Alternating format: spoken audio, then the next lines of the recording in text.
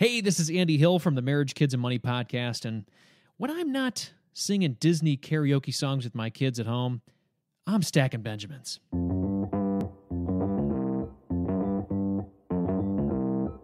Live from Joe's mom's basement, it's the Stacking Benjamin Show.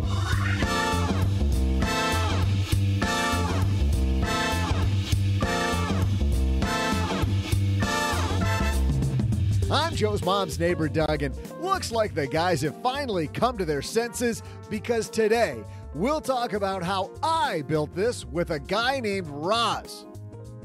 Wait, what? His show and book are called How I Built This. Oh, yeah, no, that's not confusing. Oh, come on. His name is Guy? You sure? Okay. Uh, turns out we're talking to the host of a show called How I Built This, Guy Raz. Plus, do you have a dream of retiring and living out the rest of your days sipping margaritas on a tropical beach? Well, what if I also told you that you could live in some of these tropical paradises for less than $2,000 a month? Tune into our headline segment to learn where. And finally, we'll toss out the Haven Lifeline to a guy named Francisco. Oh, that's definitely the coolest name we've had call in. Francisco wants to know about expense ratios. Oh, that's not as cool as his name. Well, anyway, OG's very excited. And then there will be some of my stellar How I Built This themed trivia. And now, two guys who built a podcast in a basement with my help, which is so different than all the other nerds out there podcasting. It's Joe and O J J J J G. Innovation is what it's called, Doug. Hey, everybody. Welcome back to the Stacking Benjamin Show. I am Joe Saul-Sehy, Average Joe Money on Twitter. Happy Wednesday to you. Man, do we got a great show. First of all, we have sitting across the card table from me, as usual on a Wednesday, Mr. OG. It's a rainy Wednesday here, my is- side of the basement. It is a rainy, rainy It's Wednesday. very moist. I, I just, I, I don't, It's very moist outside. unless you're talking about cake, I don't like the word. mo- I can't figure out what I don't know. like about that word. The grass is very moisty. not my not my favorite word. You know what I do like though? I do like it when the kids go to school on scholarships. Yeah, tell me about it. Head to It's Stacky it's Bench. the only way my kids are going to school. We teamed up with our friend Pam Andrews, who is the scholarship shark. What should we do for the tagline? Send your kids to college on scholarships without going to jail. Would that be a good tagline? Too soon, maybe. Ah, yeah, maybe just a bit to get get your kid into college without the Lying lawsuit. about it. Yeah. St- stackingbenjamins.com forward slash scholarships uh, for more on how our team can help your kids go to college. We got a great show today. We got a gentleman that you may have heard of named Guy Raz joining us. He has a new book out, weirdly entitled How I Built This. One of my favorite podcasts, and we'll see if he's also going to be one of my favorite people. I don't know. We're going to talk to him later today. But first, OG and I got a couple great headlines, so let's get moving. Hello, darlings. And now it's time for your favorite part of the show our Stacking Benjamin's headlines. Our first headline comes to us from CNBC. This is written by Jade Scipione.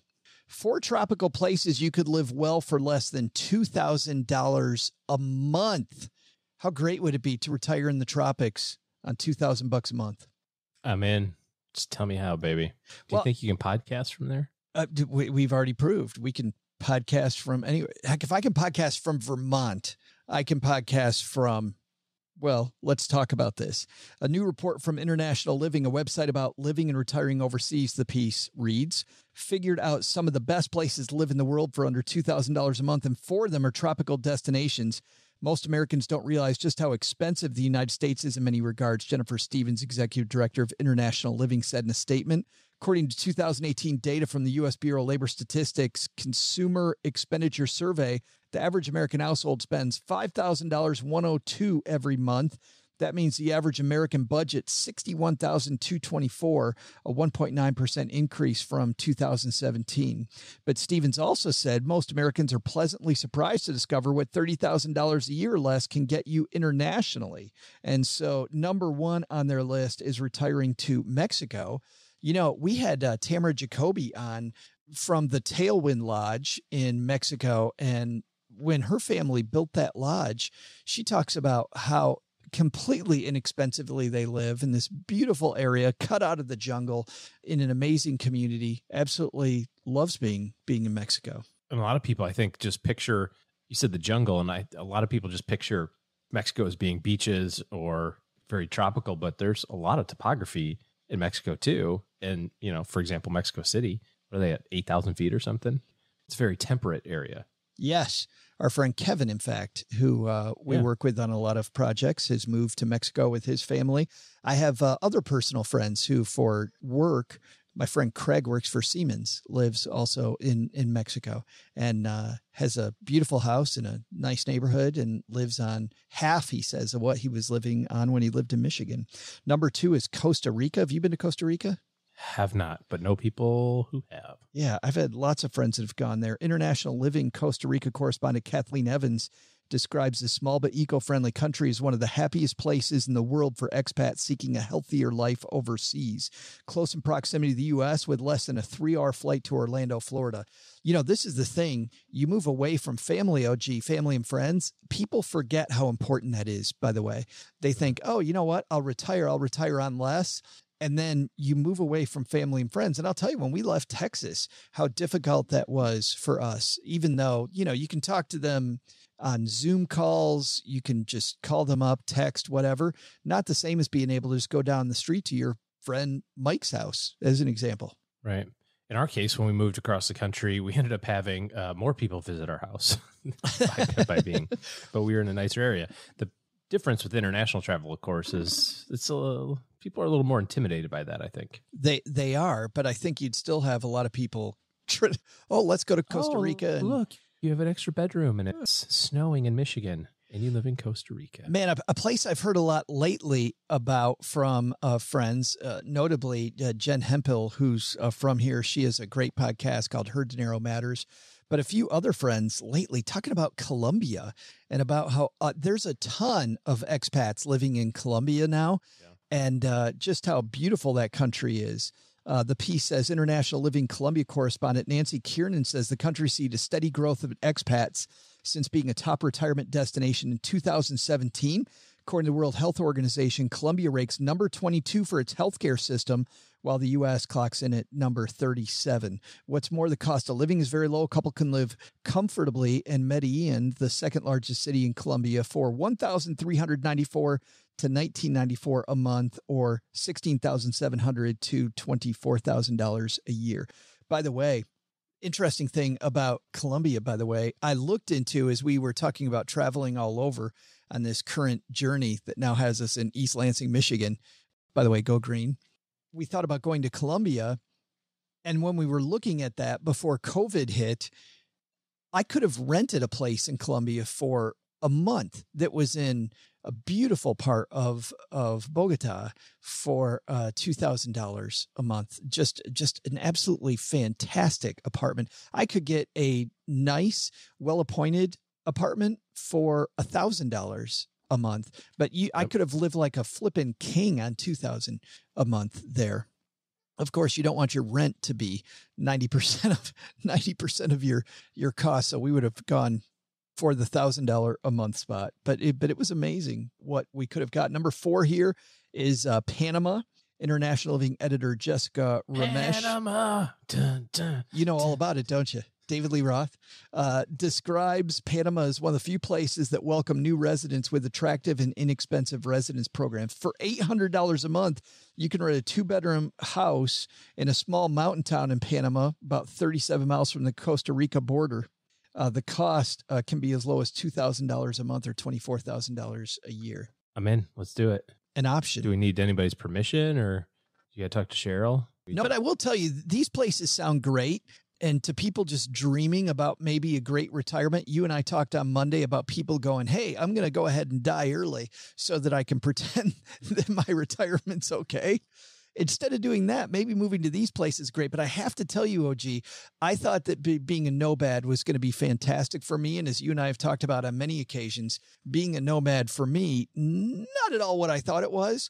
And maybe it's a good idea to take a long vacation to one of these places, like a month, if you can get away from work for a month to see how you will actually do. Cause I have to tell you mentally, it's not the same, not the same thing. Well, even you don't even have to take the vacation. Everybody's working from home now, right? That's true. So Good just point. Grab your laptop and your in your hotspot and go and see if you like it. Yeah, there's parts of it that I really like and there's parts that I don't. I like the ability to to pick up and go whenever I want. I really don't like the feeling of homelessness. Yeah. Yeah, about not having any roots. It just I thought I'd love that. I do love the ability to just say, "Hey, screw it. I'm I'm going to X place today and I don't have anything tying me down." Love that. Which means I think there's a happy medium of having a house with less shit in it, you know? Mm-hmm. Have a place that has has less stuff and maybe make fewer commitments on my time. Our second headline comes to us from Inc. Have you seen Google's new certificate program OG for college? Uh, I've seen advertisements for it. Google's plan to disrupt the college degree is absolutely genius. Of course, this is an opinion piece written by Justin Bariso. Justin writes Google made waves recently by announcing its new program, Google Career Certificates, a collection of courses designed to help participants get qualifications in high paying, high growth job fields without attending a university. The courses should take about six months to complete and will cost a fraction of a traditional college education. A week before this piece, the author Justin wrote about Google's plan to disrupt the college degree and is talking about the response, which was huge. But there, of course, have been some skeptics. He says Kent Walker, senior vice president global affairs at Google, succinctly put it in a blog post, quote, "We will consider our new career certificates as the equivalent of a four-year degree for related roles." Now, th- this brings up something, OG. So I like the idea of only going to school for six months and getting everything that you need. I like the fact that there's somebody who's hiring who says that they look at it similarly to a four year degree. But this is Google saying that they're accepting their own certificate as a four year degree. I got to imagine there's a bunch of hiring managers out there who aren't as I don't know forward thinking if if you think that this is a great thing or that um, think that six months can equal four years. Do you think this is going to be as disruptive as uh, as Google hopes it'll be? Well, if people get out of their own way, yeah. Because again, it's not about the, necessarily the piece of paper; it's whether or not you can do the work. And I think we've swung the pendulum so far to the well, if you don't have the piece of paper, it must mean you can't do the work. But now, you know, what Google and other places are trying to do. And I've known people who are who have changed careers into tech fields and they're uh, doing this exact same thing. They're getting requalified or getting qualified, I guess, not even requalified, getting qualified by doing an accelerated program like this and saying, if I can get through this, that means that I'm qualified to do this work because they compress all of that. You know, it's like, why, why do you have to go to school for four years if you can get it done in nine months? You know, and come out with the same understanding. This also doesn't preclude you, I suppose, if you get this certificate and then decide that you want more from going back and getting four years later. And in fact, studies have shown that older adults are much more likely to do more with a four year education than people right out of high school. Because people who are older and have some work experience actually know why the hell they're in school. Yeah. Well, and then they don't fiddle around with it either. Yeah. They recognize the value of time. Same. I don't need to do this for four years just because the world says it's going to take four years. I should try to do it in three, or I'm not going to take the fluff golf class. you know, I'm going to take stuff that I need to learn so that I can be better. You know, though, when it comes to a degree, I mean, let's take uh, some of the Ivy League schools for example. Some of the some of the cost of that, I think, isn't actually about the school. It's about who you're networking with, right? Yeah. I mean, uh, I'll give you some examples. Facebook founder Mark Zuckerberg worked for the Winklevoss twins. knew the Winklevoss twins before, according to them, he ripped them off, right? but but that was the I think original. according to everyone. yeah, yeah, maybe according to most people uh, that he did that. You also had uh, Steve Ballmer was roommates with Bill Gates. Tommy Lee Jones and Al Gore were roommates. Like you have these people who are moving in society at a very young age or are thinking about moving in society and you're around these people. I mean, there's got to be something to proximity uh, when it comes to some of these degrees, especially some of the most prestigious schools. Well, yeah, obviously.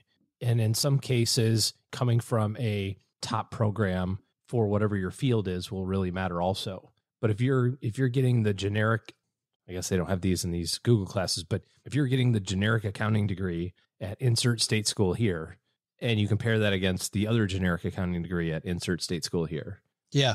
there's No. not a marked difference. It's interesting you say that because as you're talking, I'm thinking about uh, Scott Galloway, who has talked about this about how the top schools like Harvard are not going to be affected by changes like this. There's still going to Yeah. be a bunch of people that go there, but you are going to have some people, OG, that won't want to go to Harvard. They'll want to do this instead to get on with it. You know, Wh- why take out a bunch of student loans if I can just get it done in six months and get where I'm going quicker?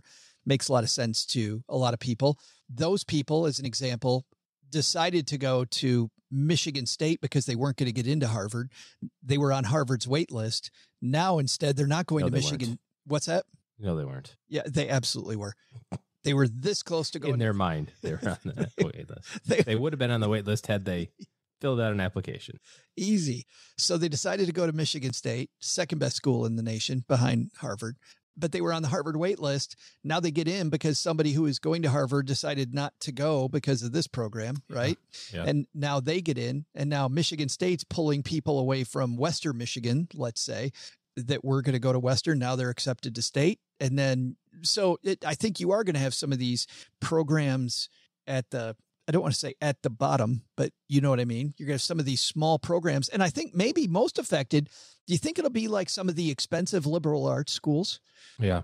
It- you know, this stuff from Google in particular looks to me like it's really perfect for early slash mid career people who just want to completely change course. You know what I mean? Yes. Like, like as opposed to going, okay, I don't know the first darn thing about coding or whatever, and oh well, Google's saying, no, no, no, you don't have to say oh well. You can do this, and you can do it at your pace. And when you come out of it, we're going to give you the blessing that says that you can work for us, which means that you can therefore work for just about any tech company out there. But rather than kind of throwing your hands up in despair, here's a here's a path that you can take. You know, if you don't want to be a accountant anymore, you can go do this. Yeah, four years is a direction. four years is a long moat to swim. That's a Yeah. l- long way, especially if you're feeding a family. You feel trapped. You're right. Six months is something that you may be able to endure. So I wonder if um, that's maybe the audience, not the like high school to college people, or yeah. if the if the audience is like early career, like I got my accounting degree and now I'm 28 and I go, yeah, I hate accounting. Yeah. I want to go back. I want to go. I want to play on computers all day. Well, and I'm even thinking about the networking stuff I said earlier because, you know, I think about proximity, maybe because of my age, OG. I would think that uh, there's a lot of people out there who are younger that it isn't about proximity anymore. I mean, you can, because of social media, you can get proximity to a lot of people that you couldn't get proximity to before without having to be in Boston in the same class they're in. Yeah. You just got to know it helps to be in the same class. it does help to be in the same class. I, I totally agree. Can you imagine? Would you say Tommy Lee Jones and Al Gore? Yeah. Roommates. How about that? Yeah, I think that's takeaway. No, I I think there's so many, so many takeaways there. It doesn't take four years. Uh, it does take kind of knowing where you're going. And I have to say, for me, the four years that actually was seven of some pretty crappy jobs as I tried to complete my degree. I learned so much from those early jobs that as I went through college, I can't imagine how I would have done it. I was just so immature how I would have done it in six months and had any clue where I was going. But Right. um, yeah, lessons about networking, paying bills for college that you don't know why the hell you're paying them, the value of early work, so much there. And then when it comes to living overseas, I think you can widen your net, but I also think that you should probably play test it before you just head for Colombia for the next 30 years.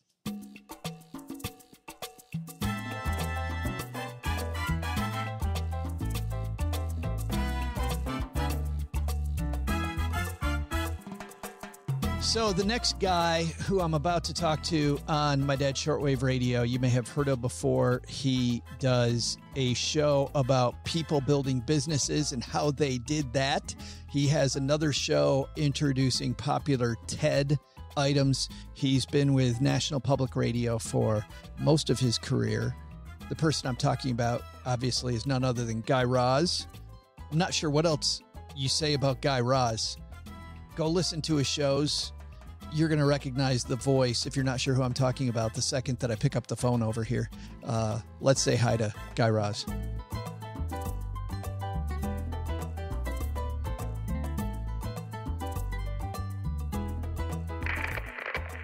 And on my dad's shortwave, it's Guy Raz. How are you, Guy? I'm great, Joe. Thanks for having me on. I have to ask about your background before we talk about the book because I would think that a guy who's created and host a podcast like How I Built This, you've got to be, you must be a natural entrepreneur. True? It's funny because the answer is yes, but I would never have thought about myself that way until I began to really reflect on my life. When I was a kid, like many kids, I loved making money. I loved um, running lemonade stands and I loved curating garage sales and, and, and taking a cut from my dad, you know, for the stuff that the old records and things that he would let me sell. And from an early age, I loved being independent. You know, I loved being able to work and make money. And so from the age of 13, back then it was a little bit easier than it is now to get a work permit. I was working in the mall in the San Fernando Valley at a toy store and was paid 325 an hour and that enabled me to have spending money in cash and so when i kind of reflect on it i have the instincts and the desire i always had but the first part of my life i spent not being an entrepreneur really. I mean formally. I was a, a, reporter a journalist. I worked for a news organization npr you know, and it took me some time before I left and started my own production company, my own business, but that was really what I did. What I discovered on reflection, and what I think a lot of people who do work for big companies discover on reflection is that you don't have to work outside or independently to be entrepreneurial. You can actually, and oftentimes you are, practicing entrepreneurial skills within your organization. So, for example, me as a reporter, reporters are entrepreneurial. You get sent somewhere, you got to find a translator if it's a foreign country, a driver. Um, you got to find people who are willing to talk to you. You got to get you got to get to a facility to send your story quickly. Um, you hear a lot of no's. Um, you hear a lot of rejection. There's a lot of walls and obstacles you confront. Um, and I think it's the same thing in almost any profession. So I didn't think about myself that way until I had the opportunity to really begin to reflect on my life, my instincts, and the things I love doing to come to the realization that I am entrepreneurial. It's funny because as you're talking, I'm thinking about uh, the fact that a lot of people call business well you know the art of war right? A book that business owners and business people point to all the time. And yet you were a war correspondent. Is that really an apt analogy business is war? I'm uncomfortable with it. I understand it and i understand the sentiment behind it. I guess I would reframe it by saying there are things that war preparation can teach you about running a business. You know, war is about vanquishing your enemies and total defeat. And that can be motivated by a number of things, right? If it's World War II, the motivation is to vanquish the Axis powers because they were truly evil, um, which is a, a morally necessary goal to me, a better way to look at it is that running a business is warlike in the sense that you have to be resourceful and efficient, and you have to inspire camaraderie and unity and a common sense of purpose. There has to be a mission behind what you're doing. And the strongest businesses, the strongest products, the strongest ideas, they bake mission into their brand and their product or service from day one. Even before you or, or, or I know what that product is, they've baked mission into it because that's how you marshal the troops. That's how you get the people who believe in you to fight for you and to and to help you grow something into into something that is transformative to millions of people. Well, it is funny. I mean, as you're talking about that, uh, an episode that you had on just recently about uh, about the rad power bikes guy. It's almost not just marshaling your own troops, but creating these huge fans, right? On the other side, turning your customers into people that are doing marketing for you. It's actually the holy grail of marketing. And it's not unattainable, but it's very, it requires you to come up with a product, service, or an idea that is extraordinary. So think about a product like Rad, Rad Power Bikes. Okay. This is a, an electric bike, bicycle. Most of them are bright orange. They're beautifully designed.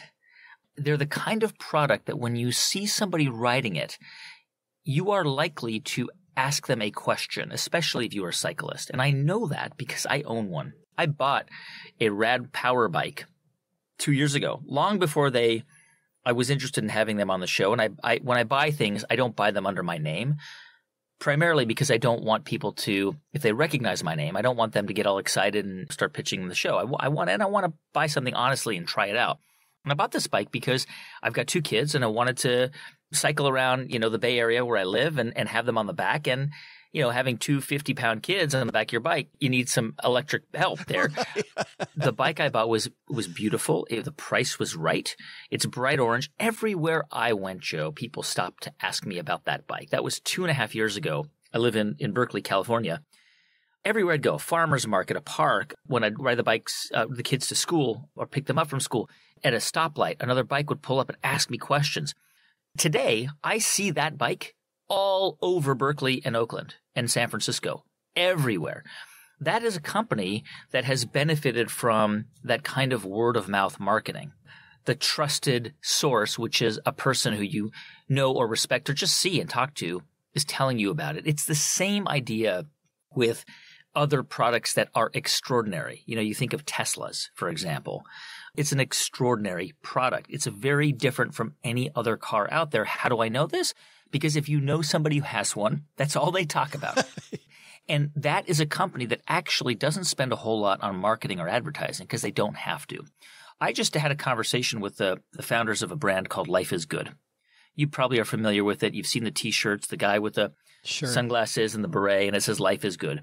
Um, they're on mugs and artwork that you would put up in a beach house. A little kitschy, but these guys, Bert and John Jacobs, the reason why their brand and product has grown and continues to grow is because their fans connect with the message of optimism and resilience that they're putting out into the world. They are essentially brand ambassadors. You know, you're wearing a shirt that says, um, you know, w- whatever it might be. You know, right now they've got shirts that are connected to the COVID crisis. So one of their shirts says, um, more science, less fiction. And then underneath it says life is good, right? And essentially their fans are brand ambassadors. They're walking around with these shirts with these very positive messages at a time when there's so much despair in our country, in the world. People are are grasping for moments of levity and joy. And that's been hugely powerful for them. So you're exactly right. I mean, it's exactly right when it comes to these products that that are extraordinary in a sense, that are, you know, very different. It's, it's, and just to kind of add on to this very briefly, and I'm sorry I'm so long winded, but I get so excited about this stuff. There's a, a famous marketing expert, you know him, Seth Godin. Your listeners will know about him. And Seth has a theory. It's called the purple cow theory. And basically, what Seth says is if you're driving down a country road and you see a brown cow eating grass in a field, you're going to keep driving. But if you're driving down a country road and you see a purple cow eating grass in a field, you are going to stop your car, take a picture, put it on Instagram and Twitter, and tell all your friends about it because it's a purple cow. His point is, is that if you want a product or service to resonate and to grow through word of mouth, it has to be a purple cow. I think about uh, Herb Kelleher and Southwest Airlines when you talk about that. 100%. I mean, think about how much of a purple cow that airline was. They launched in the 70s. This was at a time when air travel was very expensive. It was primarily limited to wealthy people and business travelers. It was a very formal process. There was a ritual to it. All of a sudden, Southwest comes in. They're only flying 737s. Uh, well, that came later, obviously, but basically their model is flying 737s. There's no seat assignments. It's very inexpensive. You get a free drink. They're very friendly but there's no frills. And it's going to be an inexpensive way to travel, but no frills. And that was radical at the time. Other airlines were laughing at them. You know, who's going to go on this thing? Who's going to go on this flying bus? Well, who's laughing now? Southwest Airlines is the, I think, the fourth biggest airline in the world. Pan Am, TWA, Continental, Braniff, you know, they populate the graveyard of airlines, right? Those were brands that tried to quash Southwest in the beginning, but Southwest kept its eye on the, you know, on the long-term goal, and it was a purple cow. It's funny as you're talking, I'm thinking about how these are just wonderful case studies. And obviously, how I built this is just it's case study after case study, learning through stories.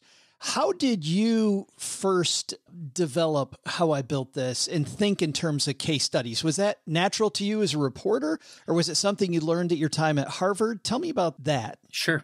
It's really what inspired the show and now the book, which is an experience I had um, to be clear, I'm not a graduate of Harvard, but a year long fellowship there as a journalist. It's called the Nieman Fellowship. And I took a class at Harvard Business School that year, just on a whim, really.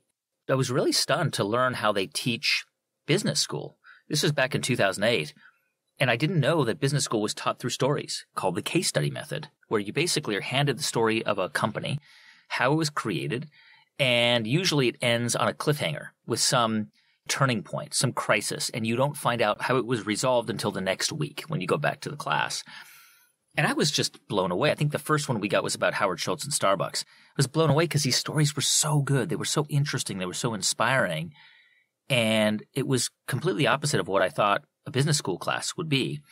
And that idea was planted in my head that, that we could actually, that I could actually do something like this in audio. You know, I've been in audio for 25 years. I started out as a radio reporter in the late 90s, and I knew that we had the ability to tell these stories in a deep and meaningful and powerful way and to do it for free, to give our audience these these lessons for free. You didn't need to go to business school. You didn't have to have a, an MBA. We could bring those case studies to you. And that's really the origin of the story and then of the book, which is ultimately the way you teach business and the way you teach creativity and the way you teach people to have the courage to pursue a disruptive idea, whether it's out in the world on their own or within their own company, is by showing them examples of other people who did it. And that's why I wrote the book. That's why I started the show. Because I wanted to show people examples of how other people did it, contextualize it, and make it clear that this is a path that is well worn, well trodden. And you want to go on that path? Guess what? You can learn a lot from how this person pursued the same or similar idea. And it's all out there for you to learn from. I remember the first time that I did a case study. I was working with American Express and we studied Benihana and how it was created. And it's funny walking into a Benihana guy and seeing why the bar area is so much bigger in older Benihana than they were in the early days because they learned that they made so much money on drinks yeah. while you're waiting for your table and just hearing about Rocky and creating that business. And then I, I obviously then I heard how I built this and I feel like I get that same thing every week. I want to dive into a few of the themes from early in the book though. One is around this idea of passion you know you've been doing this for a long time i hear the word passion now and and you kind of roll your eyes with all of your interviews, is it passion that's important? Is it that you come across uh, an idea? Is it passion? Is it obsession? What is it? Yeah, passion is a really misunderstood word because you often hear people say, follow your passion or pursue your passion. And sometimes that's good advice. You know, I'm very lucky. My passion is talking to people and learning from them. And that's, I've made a living off of it, right? That's how I earn my income. So I'm very lucky. The reality is that not everybody can pursue their passion. You know, some people, they are working to earn a living and that is, that is honorable work. There's probably a better way to think about a business and it's not about pursuing a passion, but it's about solving a problem. Here's an example. Wayfair is one of the biggest and actually has grown incredibly fast this year during COVID. Wayfair is one of the biggest furniture and homewares, you know, online shops in the world bigger than Amazon when it comes to furniture and homewares. The guys who started Wayfair, Steve Conine and Niraj Shah, were not passionate about furniture. These guys met at a math camp when they were in high school. And they were they were super math nerds. And then they went to Cornell and became roommates and really good friends. And they started a couple of businesses together that, you know, some did okay. But eventually they landed on e-commerce and on on furniture. And the reason why they landed on furniture was again not because they were passionate about it or they knew a whole lot about furniture. What they were passionate about was solving a problem. And the problem they wanted to solve was why is it that only people who live in Boston where they lived or San Francisco or Chicago or New York or Los Angeles or Miami have access to high-end excellent designer furniture, you know, beautifully designed furniture. Whereas if you live in Marfa, Texas, or Texarkana, or Amarillo, or Omaha, you don't have that easy access. You can't. Now, this is back in the early 2000s when e commerce was still relatively nascent. So if you lived in those parts of the country, you couldn't just go to a local store and find really high quality, affordable furniture it wasn't available to you. And the problem they wanted to solve was how do we change that? How do we make it so if you live in Coeur d'Alene, Idaho, or in, you know, Binghamton, New York, you can get the same quality furniture, affordable furniture as anybody in any of these big cities. That was Wayfair. That was what drove and drives their passion today. So passion is something that you can develop, you know, especially if you're looking to solve a problem it's not the product or the service necessarily that drives your passion. It's the problem it's solving that drives the passion. Marfa, Texas pull for the win, by the way. Where did that come from? You know, Marfa, Texas is a bad example because it's actually a pretty hipster town. It is a hipster town. Yeah. It's a super hipster town. And I think people in Marfa, Texas have figured out how to get all the things they want. But I, it just came to me. Yeah. I'm like, wow, that's a good one. I've been to Marfa and I'm like, that's in the middle of nowhere. That's good stuff, guy. I want to ask about something else in early chapters, which I know, you know, we hear about all the time on the show, which is people are afraid. I mean, I'm afraid to do the wrong thing with my money. I'm afraid to go ask my boss for a raise. I'm afraid that this idea that I have might not pay off. Talk to me for a second about the people you've interviewed around fighting fear. Fighting fear is the single biggest obstacle to pursuing your idea or creating or, or, introducing something disruptive in the world, whether it's in your business, existing office space or business place or or doing it on your own. And this is a well-worn path. Lots of people have written about this. You can read about it in many common business books, Rich Dad, Poor Dad. and it's a controversial book, but I just just throw that one out there. But even even in like Dale Carnegie, you know, or Stephen Covey, I mean, some of these great writers and thinkers have have pointed to fear as this huge obstacle. And the reality is that we have that instinct as a survival mechanism. Like our species naturally has fears because that's why we are here on planet Earth today. If we didn't have fears, if we were somehow that gene didn't exist, we wouldn't be alive because we would have been eaten by all those animals out there on the savannas, right? We need to have fear. The problem is, is that today we're not threatened by the saber-toothed tigers and the woolly mammoths, but we still have that instinct within us. It's why people are afraid of public speaking, for example. Now, how do you get over that fear? How do you conquer it?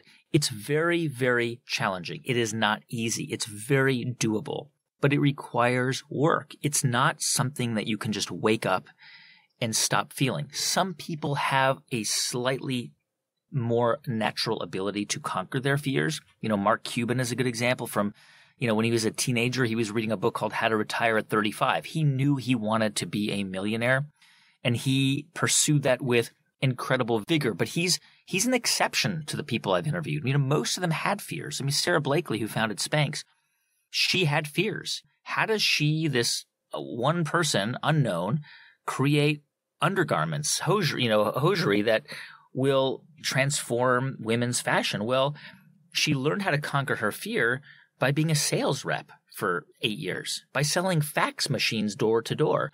Going door to door, selling fax machines is really scary because a lot of people are going to say, not interested, leave my property, whatever it might be. By the way, when I was a reporter, it's not easy to go up to random people on the street and ask them for their opinion about something. You know, it's called Vox. We would take Vox. We would go around and just ask people questions. And most of the time people say, not interested, please leave me alone. It requires some courage to do that.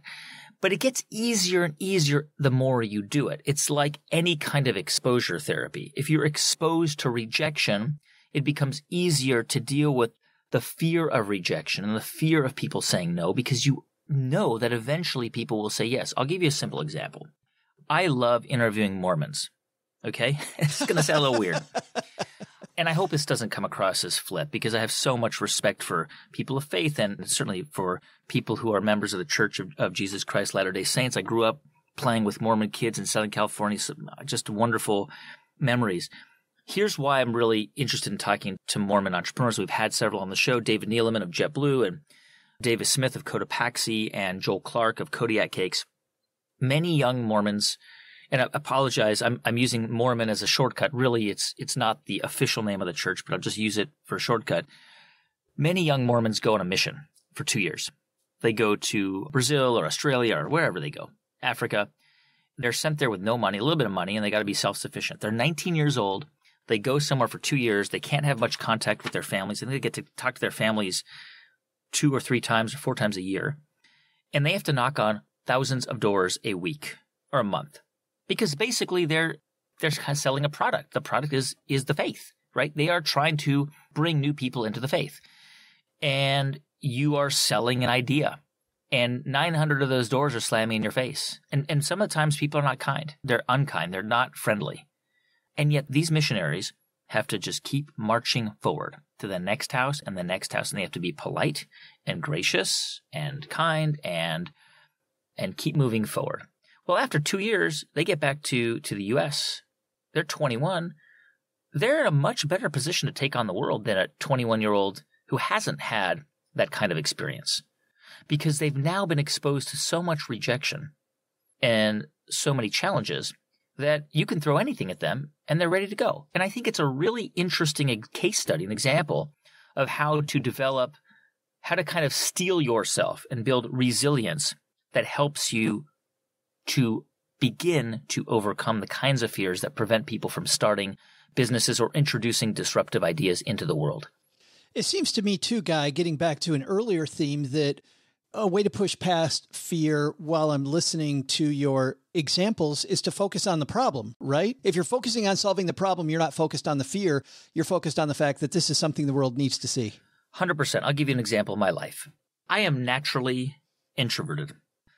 I'm so moved and passionate about my audience. We have a, a very large, passionate, and devoted audience, and, and they communicate with me on social media and, and all these places. And it becomes overwhelming at times because I can't always I actually never can answer all of them, and it's in my instinct to want to answer everybody because I, you know, I, I, I want to, but um, naturally I'm introverted. And in normal times when we have live events and I do shows in these big auditoriums, I'll usually kind of make a surprise visit to the lobby afterwards, but I'll wait for like 20 minutes and it's usually there are a couple stragglers and it's super fun. But I get exhausted after a while because I put so much of my energy into being there for my listeners and my audience. I'm also not the kind of person who easily meets people. It's just not my nature. It's not easy for me to walk up to people and say, Hey, I'm Guy Raz. How are you? Let's, you know, tell me all about yourself. Even though I do that on my shows, in my private life, it's harder for me to do mm-hmm. that. What helped me overcome the fear of talking to strangers and kind of striking up conversations was becoming a reporter. Once you gave me a notepad, and I remember this so clearly when I was 20, 21 years old, I had my first assignment to write an article for a newspaper called the Washington City Paper in DC. Once you gave me a notepad, I could go up to anybody and ask them any question, and I didn't care if they said no, because it wasn't about me. It was about the mission of getting that story in print. I had an assignment, I had to fulfill it. And that was an, an, incredibly powerful experience for me. And I think it's what attracted me to becoming a journalist early in my career because it was like I had this invisible shield that protected me from the fear of talking to people. And that shield was a notepad, eventually became a microphone. And so there's no question that when the mission, when there's a higher purpose, and it's not about you, but it's about fulfilling a mission or a purpose, it's much easier to conquer the fear. The book is called, and by the way, not very imaginative with your title here, Guy. It's called "How I Built This." Seems like you might have uh, might have changed that up a little bit, but no, I'm kidding. it's called "How I Built This," and it's available everywhere. Correct? Yep, available everywhere. It's awesome. Well, thanks for hanging out with us for a few minutes, Guy, and talking about fighting fear and and achieving some greatness. I really appreciate it. Thank you, Joe. Hey, Stackers, I'm Joe's mom's neighbor, Doug, and thanks again to Guy Raz for stopping by the basement. I sure love to hear him talk about all these motivating and inspirational people who have built the brands we're surrounded by today. And I'm also having a hard time figuring out how he's leaving a certain entrepreneur off the list. This person didn't start his business out of a garage like those run of the mill tech founders. Instead, this super intelligent, funny, witty, incredibly handsome guy built his business in a basement. I'm sure we all know who I'm talking about, right? I mean, let's be honest. I'm sure you're as confused as I am why Guy hasn't asked me to be on his show yet. I can keep going on all day, but to prove it, let's get you some of today's very brilliant trivia.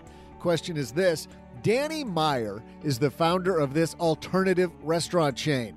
He somehow managed to guest host on How I Built This about his business before I was on. That's a mystery we won't solve. And this chain is sweeping the U.S. with their burgers and recently announced plans to open their first drive through. What is Danny's burger centric restaurant? I'll be back with your answer faster than you can build an award winning podcast all on your own.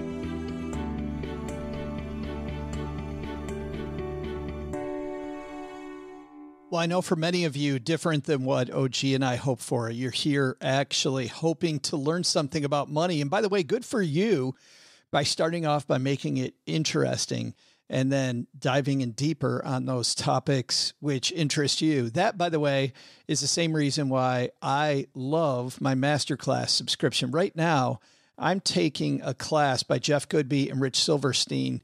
These are the guys that designed Got Milk they also have worked on many other iconic campaigns for brands from Budweiser to Nike, Apple, and many others. And just when you're trying to craft messages that are in a short amount of time, there is no lesson better than that of a commercial, right? These guys are trying to tell a story beginning, middle, and end. And so I really like their masterclass in advertising and creativity.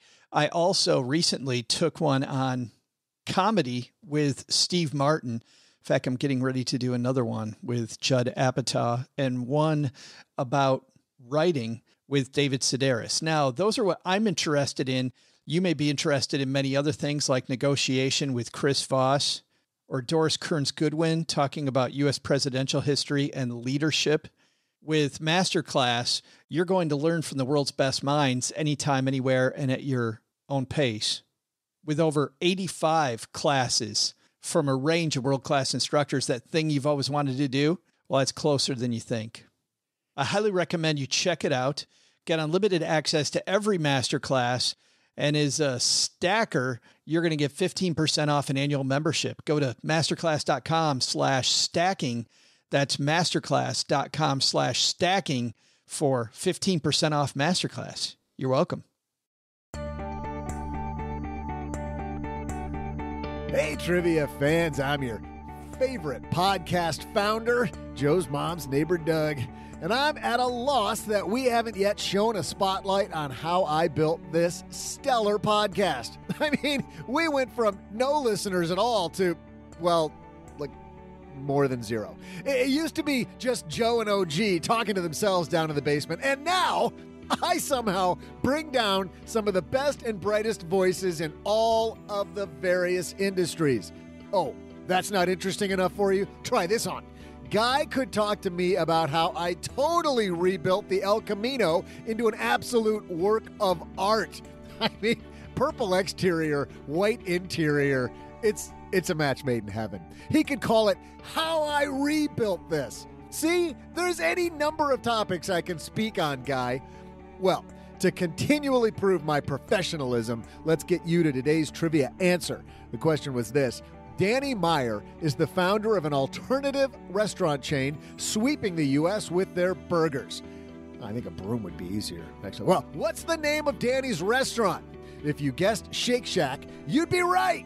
Danny and his team founded the company in 2004, and they took it public in 2015. And now Shake Shack has a market cap of $2.6 billion. Eh, it's not bad, I guess. Now it's my turn, Danny. Time for me to go on and keep building this here podcast. See ya. Big thanks to Guy Raz for stopping by the basement. Hey, let's throw out the Haven Lifeline OG and tackle some of life's most important questions. Our friends at Haven Life Insurance Agency realize people waste too much time figuring out something that's important but shouldn't be time consuming, like life insurance, and they blew up the process and made it so much easier. Their application's simple, it's online. You'll get an instant coverage decision.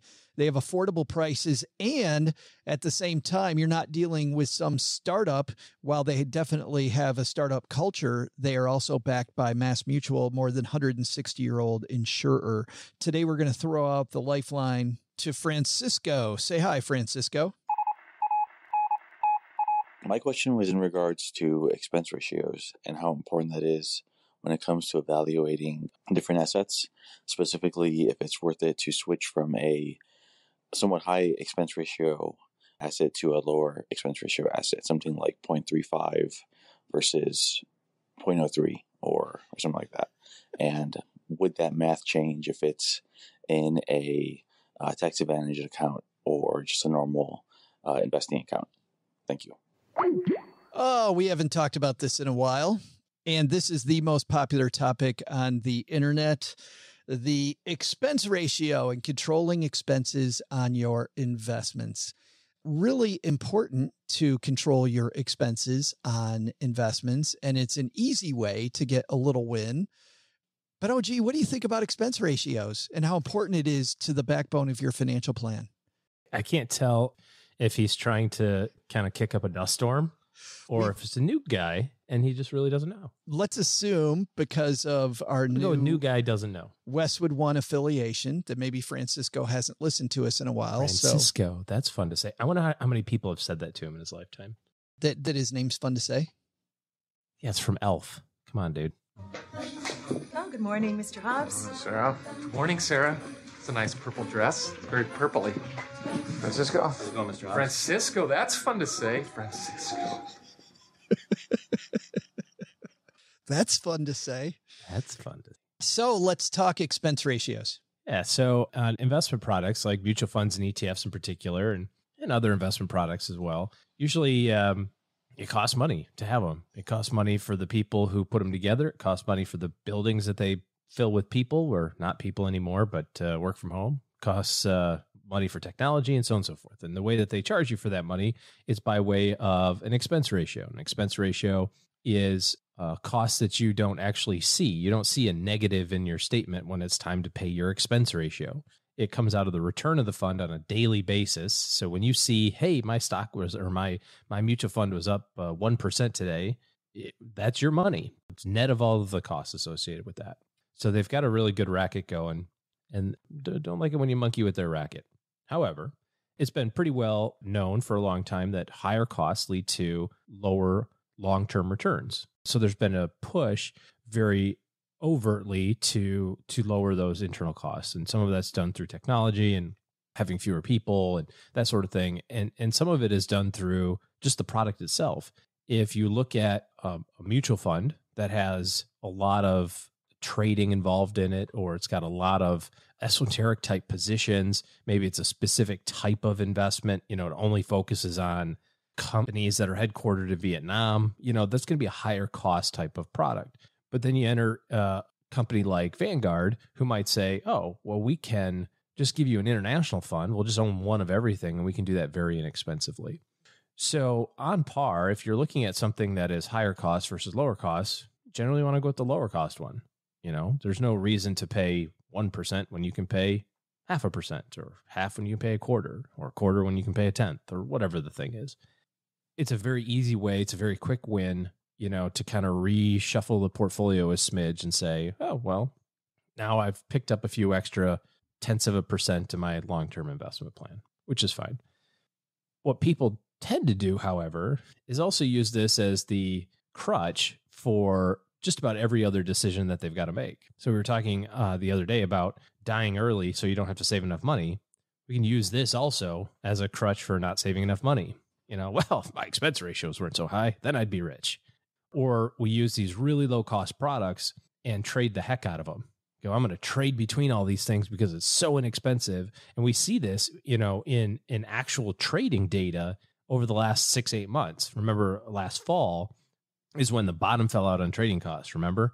So Schwab said, "Hey, we're not going to do commissions on on stocks anymore." And within a few days, everybody else was like, "Boom, boom, boom, we're good too." But the bad news is it was bad before that. Like it's just gotten worse. Oh yeah, yeah, But- because there's but- no there's no barrier to entry. Even when there were trading costs, there were people that were trading their mutual funds, actively managed mutual funds, where they had a manager already installed, taking care of business for them, and they're The actively trading. trading. Yes. Trade. Yeah.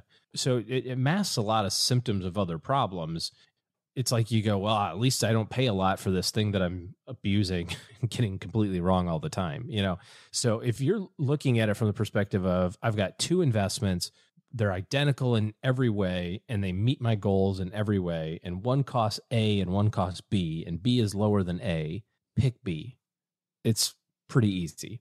If you're looking at two arbitrary investments and you're going, well, my 401k, I have a fund A, which charges 1%. And in my brokerage account, I've got fund B that charges 0.1%. That must mean fund A in my 401k is bad. That's not a fair comparison because your 401k may only have a limited option or it may be a specific uh, sector that you're looking at, you know, that is going to cost more. So it's not just a purely like you, you you can't sort by show me the cheapest crap and I'm going to buy it. You know, you still have to find the thing that meets your goal, and then within that list of things, and try to find the one that's least expensive. But you and I have seen, I mean, just to be clear, you and I have seen people that have used crappy financial products meet their goal. They got to their goal. You know why? Because they did all the other stuff.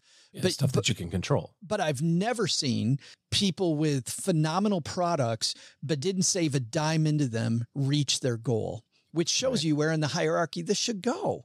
Yeah. Yeah, Did- a- I mean, you've heard Dave Ramsey say nobody gets rich on credit card points. Yeah. We know lots of people who are very good at taking free vacations on credit card points, but I've never known anybody who's like, who's like, the reason that I'm financially independent is because I've, you know, and that's kind of Dave's Because of my. Like, 2% cash back card. you use it to add some benefits to your already existing well thought out system and that's how this is too you need to save enough money you need to make sure your money's in the right place you need to have reasonable goals you need to spend less than you make you need to do all of these things and then the cherry on the top is and then i found something that's not as expensive the number one thing to do in your financial plan is to create great systems, processes, and behaviors that allow you to save more money. That is it. So, Francisco, what a fun name to say. Francisco, the uh, the answer to your question is yes. Lower your expense ratios. In a tax advantaged account, you can do that without worrying about the tax implication, the short term tax implication of making that trade. In a account that's not tax advantaged, of course, you're going to have to see if there's any taxes with regard to that trade. And also, if you're still in the type of an account that has fees when you change from account one to account two, then you also have to take into account what the effect of those fees are going to be. However, that's not going to change the game as much as people think it's going to change it. that's right Thanks for the question, Francisco. We actually did that without getting as snarky as we have in the past. That's because Francisco seems like a cool dude. So, and in fact, for being brave, we are going to have Gertrude, mom's friend, who runs our basement Facebook group, send him a Greatest Money Show on Earth t shirt. You too can ask a question that we will answer. If you've got a phone or a computer that has a built in microphone, pretty easy. Just go to stackingbenjamins.com forward slash voicemail. You press one button and then it will record your question and uh, you can hear OG and I talk about how cool your name is as well. That's going to do it for today, everybody. Big thanks again to Guy Raz for hanging out with us today. Thanks to you for taking time out of your busy schedule to hang out with us as well. oh, you weren't thanking me Uh, uh, well, you know, after I thank the listeners. And by the way, the way you can thank yourself for doing the right thing is, is if you have a not so good financial plan and you need better help in your corner, you can head to stackingbenjamins.com forward slash OG, and that will lead you to his team's calendar. And you can see how they can interface with you to maybe make your financial plan better. All right, that's going to do it for today. Doug, you got it from your man. What should we have learned today? So, what should we have learned today? First, take a lesson from our headlines. You can actually live abroad for much cheaper than you might think, and the quality of life isn't as much different than living here in the U.S. as you would think. Go try it out for a month. Second, take a lesson from Guy Raz. A great way to get inspiration and learn is by taking lessons from some of your favorite people on how they built their companies. But the big takeaway it's Guy isn't going to have me on his podcast. I think it's time I built my own. I'm going to go ahead and call it How I Rebuilt This. It's going to be huge. Hashtag Doug 2020. Thanks to Guy Raz for joining us on the show. You'll find a link to his book, How I Built This, on our show notes page at stackingbenjamins.com. You'll help the show and help independent booksellers. This show is created by Joe Saul-Sehy, produced by Taylor Stevens, and engineered by the amazing Steve Stewart. Online, visit us on Twitter at SBenjaminsCast or on our Facebook page. I'm Joe's mom's neighbor, Doug, and I do not like computer jokes, not one bit. SB Podcasts may receive payment on the show from sponsors and guests in the form of books, giveaway items, discounts, or other remunerations. That's a big word. There's no way you take advice from these dorks, but like Joe's mom always says, don't take advice from people you don't know. This show is for entertainment purposes only, and before making any financial decisions, consult with a real financial advisor. And want more on my new show, How I Rebuilt This? My first episode will be how I could totally rebuild Blockbuster. We're going to call it Be Kind, Rewind Blockbuster's Biz Plan. Also, my cousin Ned would be a great guest. He works on remodeling and he's rebuilt so much stuff. He's a natural. Oh, oh, retaining walls. That'd be a steadying story. Or um oh oh roofs. There'd be no leak in that storyline. I could keep going. Fences. We could talk about picket lines. E- even kitchens. He's done some great kitchens. Man, we'd cook up something good for that episode.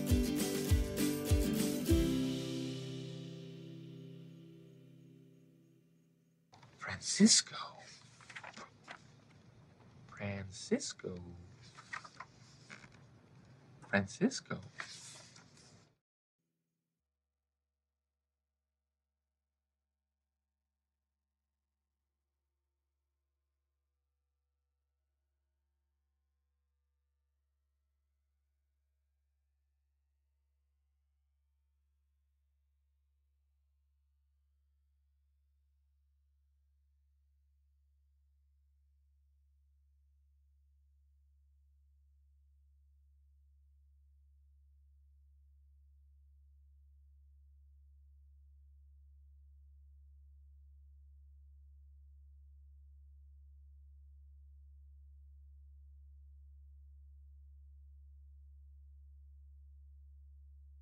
Welcome to the after show. If you're new to the show, this is the part of the show that doesn't exist. What uh, happens here stays here. And I have to, um, I, I saw this and I thought of you because of your obsession lately, OG, with flying. I don't know if you saw this. Uh, Obsession. This is from the Associated Press. Airline crews report jetpack flyer near Los Angeles airport. Did you see this? Yes, I did.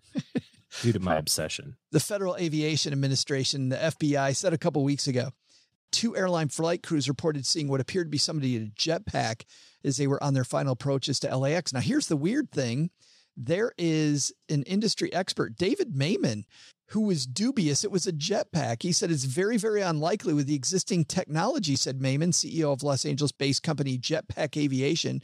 I'm open to being surprised, but I don't think there's anyone working on a technology that could do a flight from ground to 3,000 feet and come back down again, which proves it was probably an alien. I'm sure it was an alien. Well, I was a little skeptical at first as well, but apparently there was a number of reports. So, you know, when there's one report, you know, you're like, oh, whatever. But um, but when there was multiple ones, so Well, no, it's weird. You had a couple of years ago. Do you remember all the Navy pilots that saw the UFO? like these aren't Yeah. th- th- these aren't your run of the mill. I saw Bigfoot people. You know, his name's Daryl. what? Why do you say his name's? Why is his name Bob or Jim? It's Daryl. You're going back to Daryl and my other brother Daryl from the Newhart Show. No, progressive commercial. no, you haven't seen that one either. Hold on a second. Let's see if I can pull it up. People used to care. Heck, they'd come all the way out here just for a blurry photo of me. Oh, that's a good one. Wait, what's that? That's just a low battery warning. Oh, right, right. Now it's all, check out my RV and let's go four wheeling. Maybe there's a little part of me that wanted to be seen. Well, Progressive helps people save when they bundle their home with their outdoor vehicles, so they've got other things to do now, Bigfoot. Wait, what did you just call me? Bigfoot? My name is Daryl. As he sticks his foot out. Progressive, if you want to sponsor the show, joe at stackingbenjamins.com. Please do. So, but anyway, you saw the uh you saw the Navy pilots. So you're saying it's all? Uh, It's all we're being invaded. I think we're being invaded. I What- think you probably are right, actually. What if they tell us the secrets of the universe and it turns out that it's uh, keeping your expense ratios low? Wouldn't that be something? That that was the key to their incredible success and how they can do, do now do things like mind read and they have a collective consciousness which allows them to get further and they've explored the entire universe. They know all the secrets and it was because of the fact that they went from point 0.3 to 0.03 on their exchange traded fund. Joke would be on us, though, wouldn't it? It would be on us.